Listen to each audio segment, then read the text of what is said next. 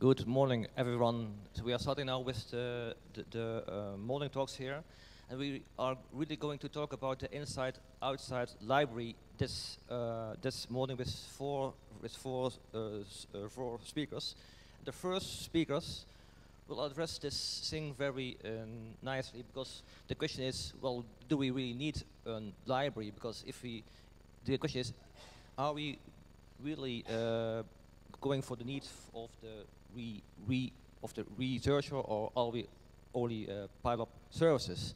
And to do this battle, we have on our uh, right hand side Jane Stevenson. Jane Stevenson is an archivist. She's from an archives hub uh, manager, and, and she's from the, the University of Manchester. And on our left-hand side, we have Lukas Koster. Lukas Koster is a library systems coordinator at the, at the Library of the University of Amsterdam. So let's rumble.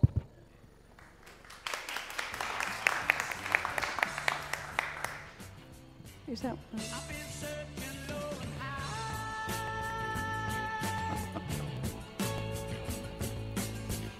I won't get to get what I'm after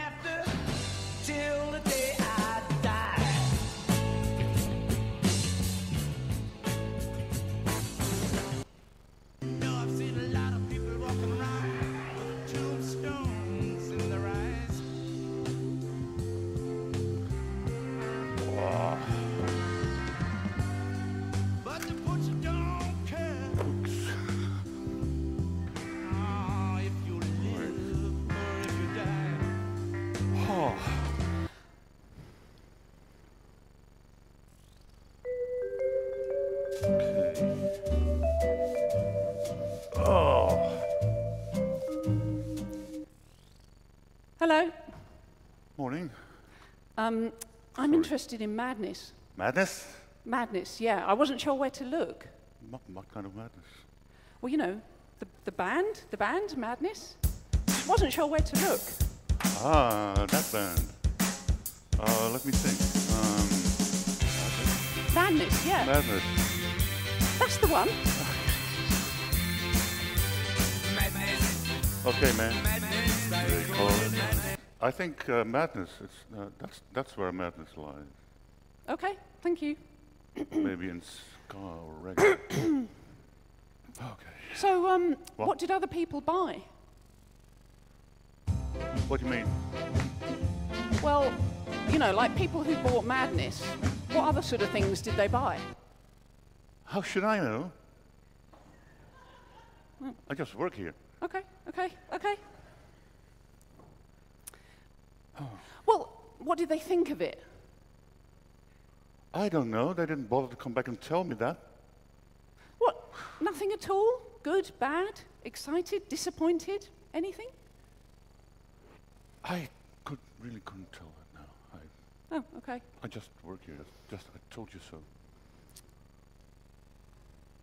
Oh, well, I'm quite interested in this CD. Oh. But the thing is, I only really want tracks two, five, and eight. I've got all the others. You can't do that. It's all or nothing. These stupid Well- customers. How much is it? Well, look at the back. It says 10 euro. But I'm sure I've seen this for eight euros in another shop. And I only You know- want three tracks. I only want the three tracks. You know what? You can go to the other shop, and here's your track three. Ah. And two. And what was it? 25 euro. Thank you very much.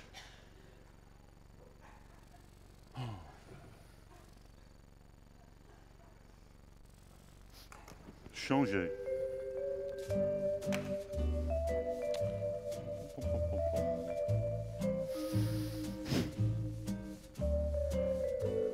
Yes. Hello.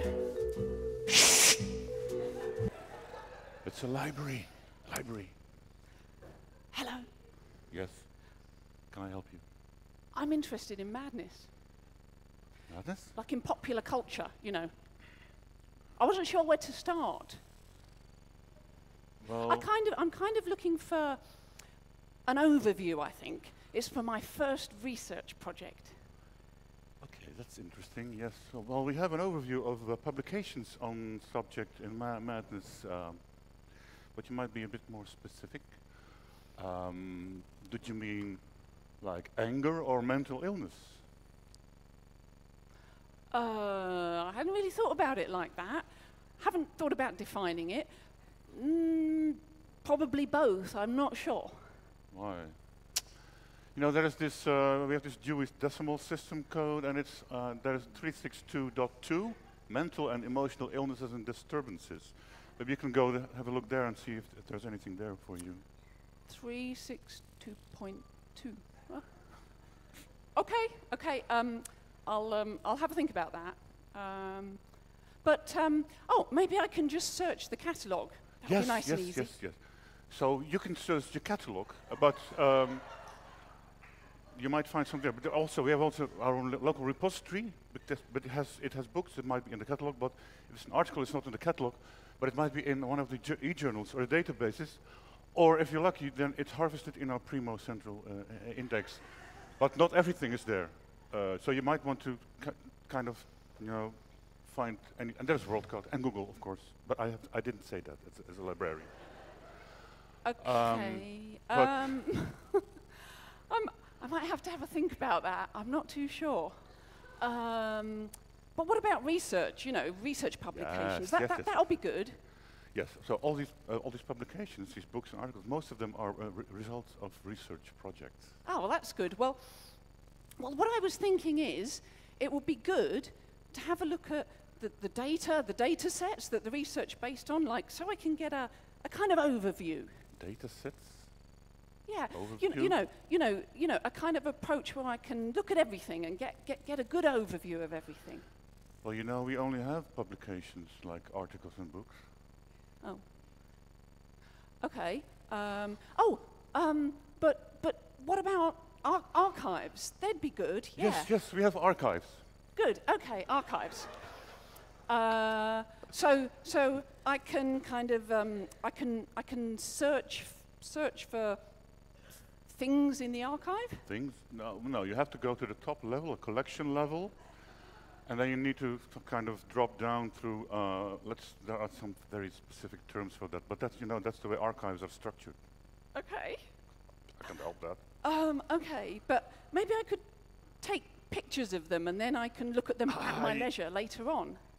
I don't think that's maybe, f- but you have to fill in a, a question, a, a, a- form to ask the permission to, to, and specify the, the purpose of that. Oh, okay. Um, well, well, can I look at any of them on my iPad? Surely. Well, we have some of them digitized, but most of them are just paper objects. So you have to f- find them somewhere in the in the in the, in the depot. No, Oh. I'm sorry. Okay. But you know what? Um, we have we have a number of uh, library skills and database uh, uh, courses and trainings and, and tutorials. I, I can give you a couple of brochures. Here you are, and uh, then you can you can f- li- find out what you like, and then come back and see. What's uh, yes? okay. Okay. Oh, actually, I'm quite interested in this book. That book, not the other one. I'm quite interested in this book. Um, I'm quite interested in this book, but actually, I only really want chapter four. I'm not interested in any, any, any of the others. It's just chapter four that's relevant for my research. You can't do that. It's all or nothing. Well, I don't want to carry a whole book around. I mean, uh, if I'm looking at a PDF or anything else, I can just get the bit I want. I mean, it's just silly having to have the whole thing when all I want is one chapter, Yes, one yes. chapter out of the book. That's all I want. Here you are. Now go on. Are you happy now? I'm not entirely sure. Ooh. okay, now for the serious part. We're not finished.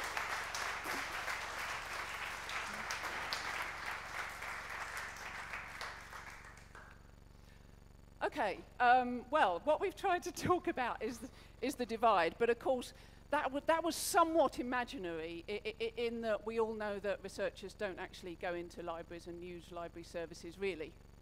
No, that's actually that's uh, they have their own uh, things.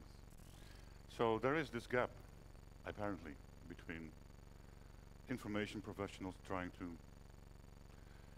serve the best as they can. That's through uh, presenting the, their collections and uh, the needs of the researchers, and everybody's interested in that. So we have uh, kind of identified five issues based on what you have seen before, where there is a gap. So researchers they are actually interested in information of uh, all types of resource, resource of sources, regardless of format, like uh, anything. You know, I've seen artifacts, archives, books, music, anything, with data. And libraries and archives, we tend to provide all these things in, in or format-specific databases, catalogs, like uh, only articles or only books. And we have we, we, we try to integrate everything with this discovery tool, but may, it doesn't really always work the, the, for the needs of the researchers because they're kind of interested in their discipline-specific stuff, and there are, there are a lot of differences between these disciplines. Also, they want to search and find anything, regardless of where things are held. So they want to search the world, whereas libraries and archives, either you have to go to the, the building or to the specific web interfaces of that specific library or archive where you can find a, a limited number of items from their own local collections or uh, from subscribed content if it's, it's, it's licensed materials. Now it's up to you. Thanks, Lukas. So uh, one of the other things uh, that, that we were thinking about that we think is quite important is, is around language and the use of language. And really with the interfaces that we provide, language shouldn't be a barrier. And in fact, it's something that the researchers shouldn't, shouldn't have to think about at all. It should be kind of quite obvious to them. Whereas we're very fond of using our own language, which we're doing here at this conference a great deal, but we have a tendency to kind of translate that through to end user, end user interfaces if we're not careful.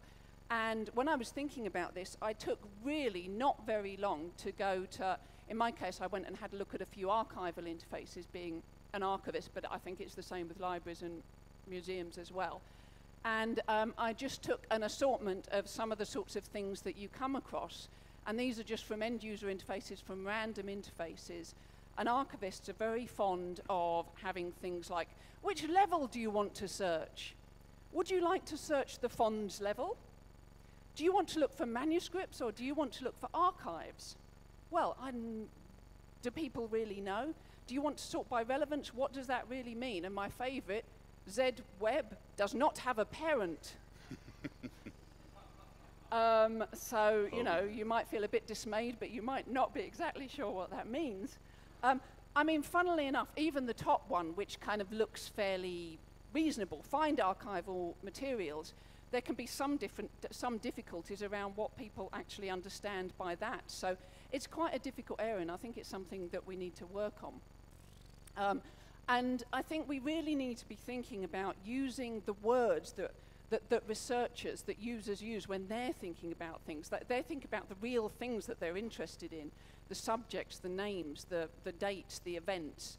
And we do have a tendency to kind of introduce our language into what they're looking at a lot of the time. And similarly, in terms of language, when you're thinking about searching, now, you know, we know that people really want to search however they want to search. They want to use their own search terms. We, we love controlled vocabularies, and they have their place, but we, again, we have a tendency to kind of try to push users towards understanding our vocabularies. Now, I wonder if anyone can tell me what all these terms have in common. Nobody. You'll earn an enormous prize if you can, because I don't think you'll be able to. Um, Aid, you're not allowed to comment though, because you might know. um, okay, so all these terms are terms that people have used searching my service, which is an aggregation of archives in the UK. So they come to the search box, and these are terms that people have put in to search by. And I know this because these came up in a survey that we did, a survey of users where we, we were finding out about how they found using the Archives Hub. And what these all have in common is they didn't understand the results that they got. They didn't understand why the results were relevant to them. Now, I can look at those terms and I know why the results weren't relevant, although actually it's quite hard to put into words to, to understand how archivists catalogue and how relevance works with archives and things like that. Um, but it was a really good thing to do because it made me think, okay, well, are there ways that we can then present them with something that's useful? You know, what you get might not seem relevant, but it could because of this, it could because of that, and, and try and direct them somewhere that's more kind of helpful. So the last uh, issue that we, we found out is re relationships. So researchers like to see the relationship between all kinds of information. So not only their research communities and research articles and publications and, and projects, but also the, the uh, in the topics. So for instance, if we go back to the popular uh, matters in popular culture, uh, this is these are all about movies. So this is Jack Nicholson uh, featuring in The Shining, and you have uh, Robert De Niro in Taxi Driver. You may have seen them before. And to find out what the relationships are between these, there is a direct relationship, which is not about madness, but all the other movies, uh, people playing in movies, they have something to do with madness and, and, and, and strangeness, and, so this could be an interesting uh, topic for a researcher. But in uh, in our collections, these relations, the relations are not uh, readily available. We, we do have uh, in, for instance, library catalogs, this is from the Library of Congress, there are certainly relationships, but very limited. So on, on, on subject, you get a, a number of uh, publications based on a specific subject or uh, related by author or person, but these are all kind of focused uh, on their on their own uh, their own collections or the subscribed content um, basically only within their own systems and not uh, globally. And uh, another, a new, a new st step further in relationships is this is a screenshot from uh, our Primo uh, uh, imp implementation with BX, which does recommendations, so the relationship based on usage, uh, usage, usage statistics. This is a, step further, which is interesting. But that's, that's mostly the way it is, and that's it should be more. So, what have we? What what kind of solutions can we offer? Yeah, so we were thinking about the fact that you know in, in our skit the pusher, but the information professional uh, needs to understand the researcher more and, and, and not the other way around. And we still have a tendency to think that researchers should understand the way we, we work and understand the way that we kind of operate. Um, and I just wanted to show a few slides from um, some surveys that we've carried out. We carry out annual surveys. And it's interesting with the surveys that I do, every year I go back to them and I tend to revise the questions. And if anything, I make the questions more fundamental, really trying to get to the bottom of, of, of understanding users. And one of the questions I asked in the last um, survey was just, well, why did you come to our service today? You know, what, what, what were you doing that led you to our service? And um, you know, some people were looking for archives, you know, weren't sure where to look, they were looking for archives. They might be um, using a search engine and looking for archives, but a significant number of people carry out a search on a search engine and they're looking for a subject of some description and, and, and they don't know that they're going to come to the archives hub or, or whatever kind of library and archive service it might be. So they're suddenly kind of catapulted into this environment and you know, we need to start thinking about ways that we can make that environment more instantly understandable to people so they can think, oh yes, this, this is relevant to what I want. Um, another question that I've started asking people now, this was a really interesting one because I started to realize that our service is called the Archives Hub. Do you want to search for archives? Well, I thought that was a fairly straightforward question.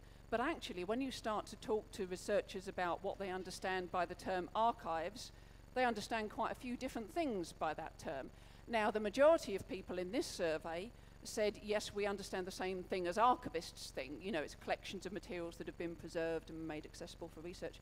But a significant number of people say, well, it's, well, it's any type of resource. You know, mm, I think it's unpublished materials. I think it's anything, anything old.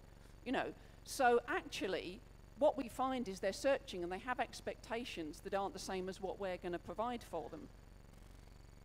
Similarly, um, it's very easy to think with something like archives or maybe with subject-based um, libraries that you have a certain type of researcher, maybe they're in a certain subject, something like, you know, for archives it would be history.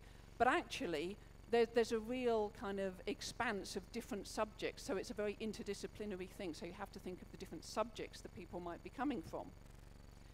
And finally, something that slightly undermined my expectations is when I asked people whether they'd rather consult digital archives or paper based archives, in fact, over half said they'd be equally willing to consult both. So even though quite a lot of people would prioritise digital, in our survey 35%, it's still the case that a lot of researchers very much value the paper-based materials. So back to the music. So um, can we see some parallels between developments in the, in the music industry and in research in the research industry?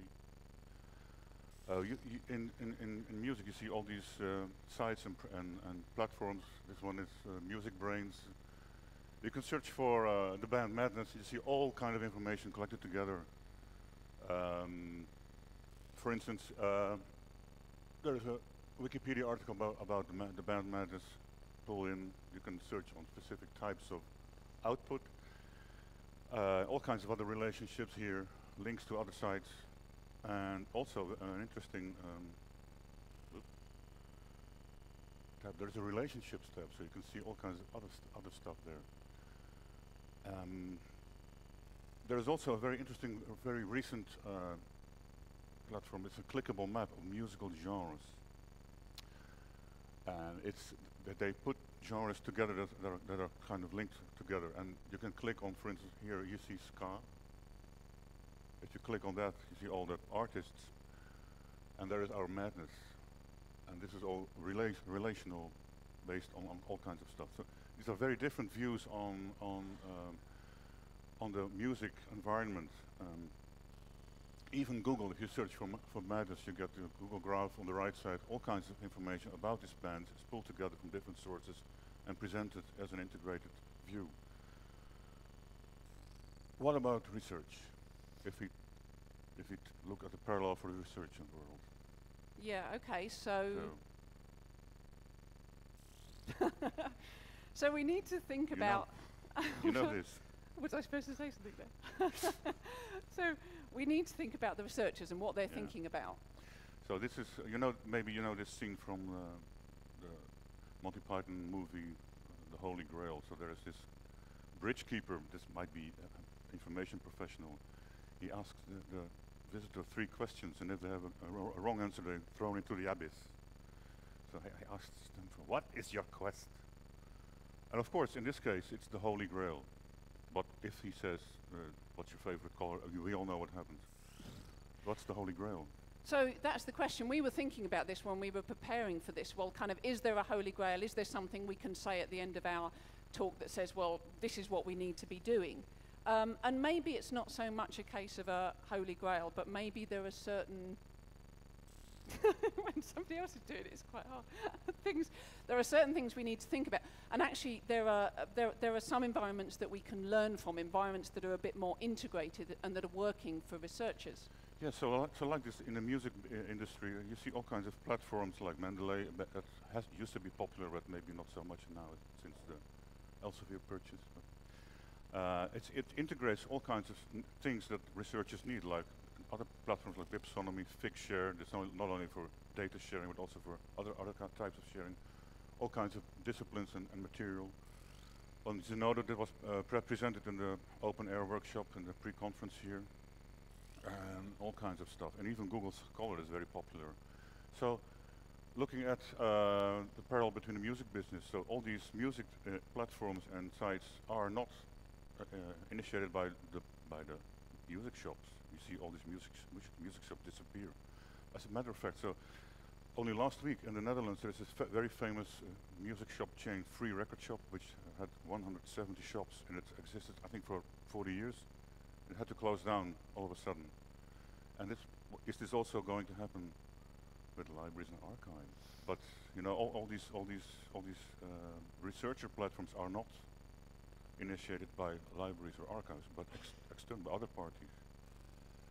There are a couple of um, uh, pilots and initiatives, also, of course, in, in the, from, from within the, li- the library world. So this is actually uh, from our own, own Primo uh, instance in, uh, in University of Amsterdam. I'm doing a little pilot to connect uh, articles from our own uh, local repository to uh, not to our own local research information system because that's not open, but to the national research portal NARCIS, which Peter van Bohemen showed you yesterday in his in his opening talk, where you can get information from a specific author of an article about other kinds of research and publications he or she is involved in. Uh, uh, it, would, it would have been better if I could have uh, RDF to embed stuff into into Primo, but uh, there is no RDF uh, unless for a very specific subset, which is a very in- interesting stuff here. In, in this NARCIS portal, for a very specific subject, there was a pilot. It's always a pilot that never gets to, into production, but they aggregate anything, everything together. So this looks like this research object that Herbert Van de Sompel talked about yesterday. It's an aggregation and it links publications and data files, etc., together. This has RDF, but it's only very limited. And there is maybe you've heard of the Vivo open source tool that connects all the research communities of a local research institute together. Th- these are all focused on the research community itself, so not on topics. To. So um, yeah, so we've got this kind of vision, we've got this very exciting idea, which she's clearly very excited about, that um, one day everything's going to be connected, everything's going to be open, and we've had presentations on these kind of ideas, information flowing freely. Um, but this is what things often end up feeling like. And, and, and it, often, it often ends up feeling like we all kind of end up adding our own little bits of wires to this kind of mess. Um, and so we've got all these kind of silos and all these different information flows. Um, and actually, this is also quite a good kind of metaphor for the fact that I think that what we need to be doing is being a bit, maybe a bit braver and bolder with these initiatives and these projects where we're actually trying to sort this out and, and, and make information more open and more connected. Uh, you know, so I've worked quite a lot on a linked data project um, over the last three or four years. And you know, I, I, I trained as an archivist. I mean, I learnt about Latin and diplomatic and land law and historical sources. I did not learn about, you know, kind of tags and codes and linked data and that kind of thing. I know, I know, I know. Um, and so, it's very distracting. Sorry. And so, and so the thing is, sometimes you've just got to kind of take the plunge a bit and have a go and, and, and go out of your comfort zone, but, but, but take your data and think differently about it and think about actually how you can start connecting it with other data. And you know, it might not be perfect and you might make mistakes, but at least we're taking things in the right direction and actually trying to, to bring things together in a way that is going to make things more connected. And, um, Ah. oh, I was supposed to say that before the I didn't, I didn't expect a Spanish timing timing is everything um, so we were thinking about um, our chief kind of weapons you know what we need for this um, and and and and and we thought that uh, amongst other things two really important things are kind of education and information literacy so yeah education is um, that's fine. It's too late now. Education is all about really changing our mindset, and and I guess I think that's a really fundamental thing, changing the way ways we think, being a bit braver, being a bit bolder, thinking about things in different ways, trying things out. Um, I think that's really going to help. Yeah. So looking back to all these um, information uh, library skills, literacy trainings that uh, libraries and archives offer, maybe we should just shift the focus completely around and start thinking about information literacy for information professionals. So learn to think like a researcher. And it's only a, a one step. And that's it. Okay. Questions, questions. Huh? Questions. Oh, I forgot that. You may dance. yeah. Now, now we've got five minutes to dance. Scar. Hello. Thank you, uh, Jane and Lukas. So, are there any questions left here? Because we have uh, some. We don't, we, we don't have any answers. No questions. You have. Booing, question? maybe? No. Okay. Thank, you. you. That's